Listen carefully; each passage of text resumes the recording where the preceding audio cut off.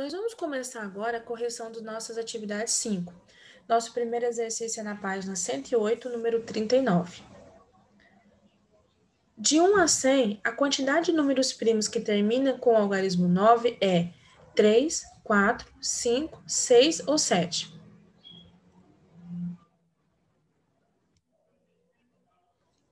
Bom, caso você tenha dúvida, basta você pegar o seu livro didático na página 107, que você vai encontrar todos os números primos de 1 até 100. E aí você vai analisar qual deles terminam com 9. É o 19, é o 29, o 59, o 79 e o 89. Então, nós temos cinco números. Resposta correta, letra C.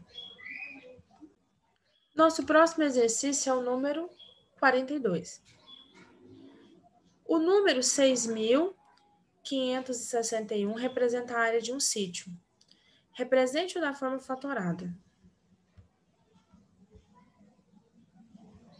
Bom, se eu preciso fatorar um número, eu preciso dividi-lo. Dividi-los, dividir ele em números primos.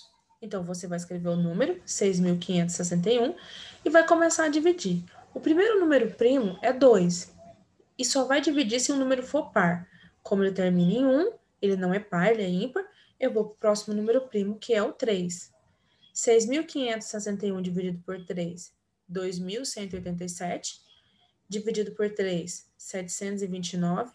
Dividido por 3, 243. Dividido por 3, 81. Dividido por 3, 27. Dividido por 3, 9 dividido por 3, 3, dividido por 3, 1. Ou seja, fatorar esse número é dividir ele por 3. Quantas vezes?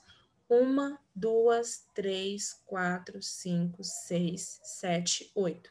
Então, a forma fatorada é a base, o número que eu usei para dividir, 3, e o expoente, quantas vezes esse número apareceu? 8.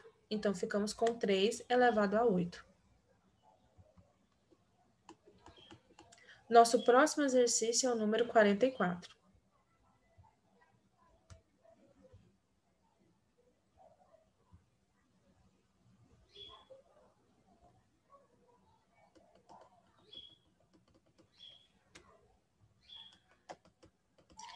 Encontre os divisores primos dos números abaixo.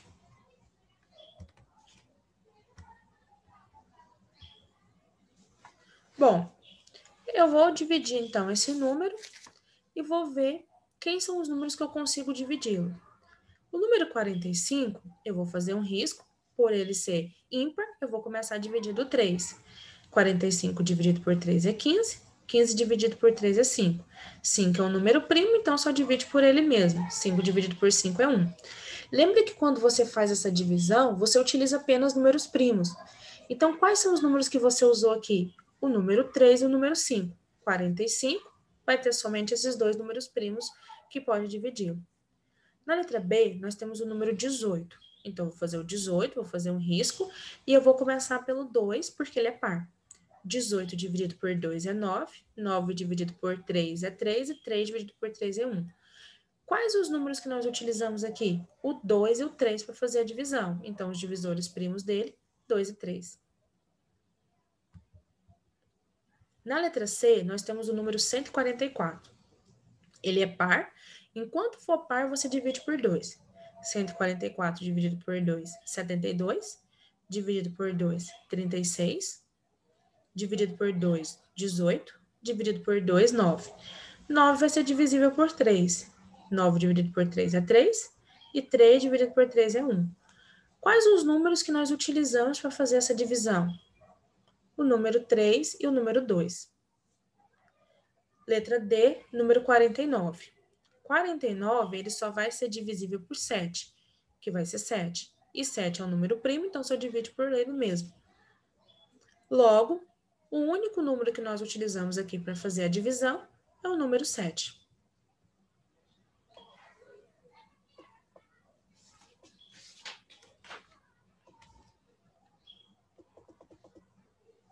Número 45 agora.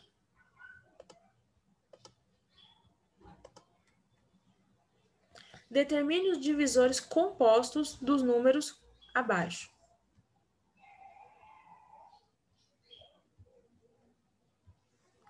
O número, ou ele é primo, ou ele é composto. Então, o que, que eu vou fazer? Vou determinar todos eles. E aí eu vou escolher aqueles que não são primos. Automaticamente eles serão compostos. Primeiro passo que eu vou fazer é dividir o número pelos primos. Então, eu vou dividir o letra A, o 2, por 2 é 6, por 2 é 3, por 3 é 1. Encontramos os números primos. Agora nós vamos encontrar todos os divisores dele.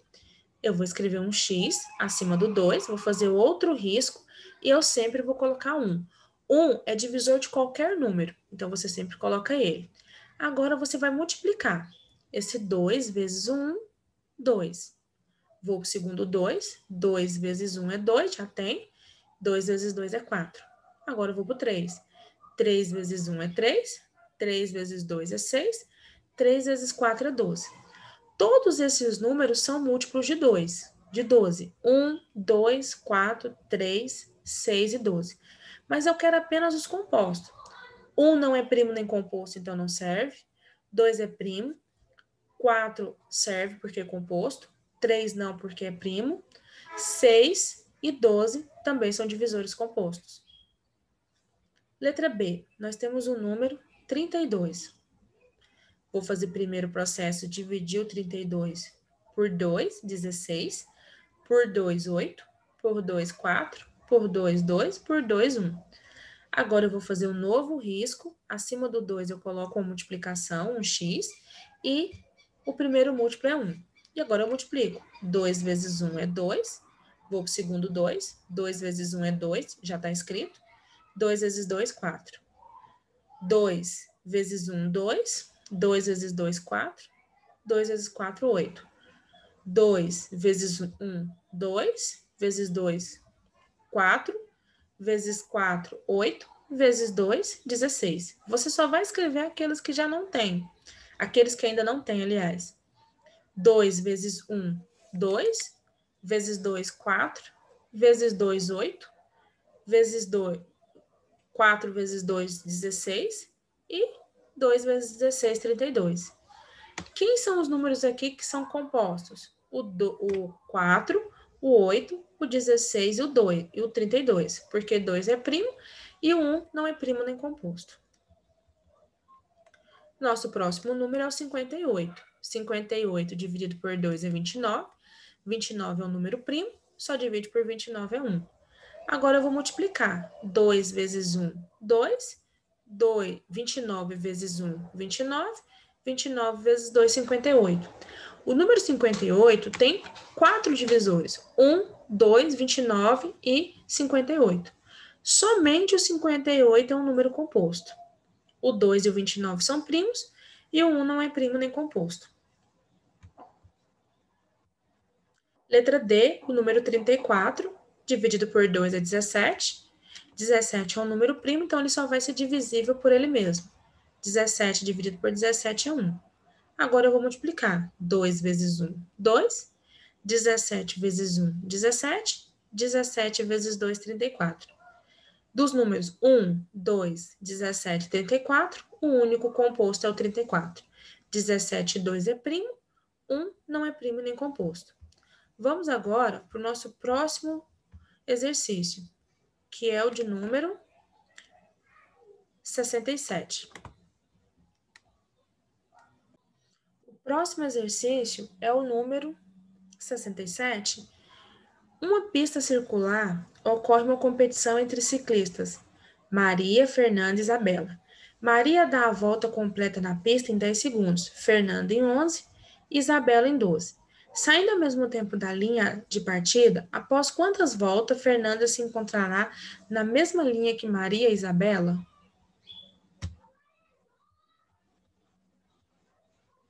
Novamente, nós vamos ver aqui uma coincidência, ou seja, um evento que vai acontecer novamente ao mesmo tempo. Bom, o tempo de cada uma é 10, 11, 12. Então, eu vou calcular o mínimo múltiplo comum desses três valores e eu vou encontrar qual será o múltiplo deles ao mesmo tempo, ou seja, quando esse evento vai acontecer novamente. Bom, 10 dividido por 2 é 5. 11 não divide por 2, repete. 12 dividido por 2 é 6. 5 não divide por 2, repete. 11 não divide por 2, repete. 6 dividido por 2 é 3.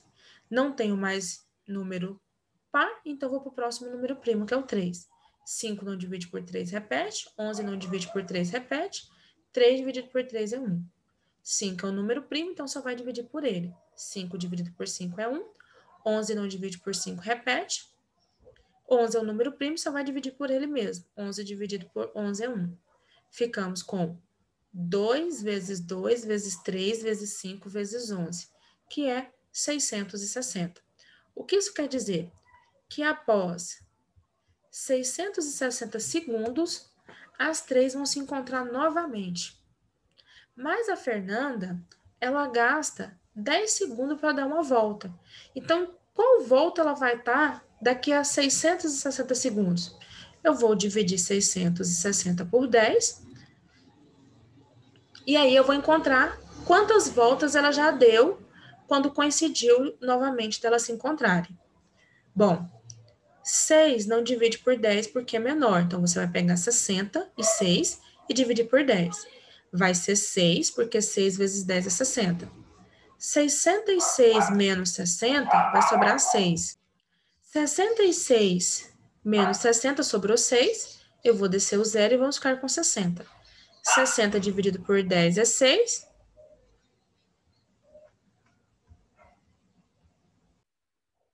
Zero.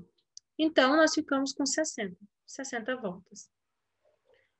Bom, pessoal, nessa aula de hoje, nós vamos corrigir até esse exercício. Na nossa próxima aula, nós vamos continuar a correção dos demais exercícios relacionados a múltiplos e divisores. E começar também a correção dos nossos exercícios sobre fração. Não se esqueçam dos horários de plantão de dúvida.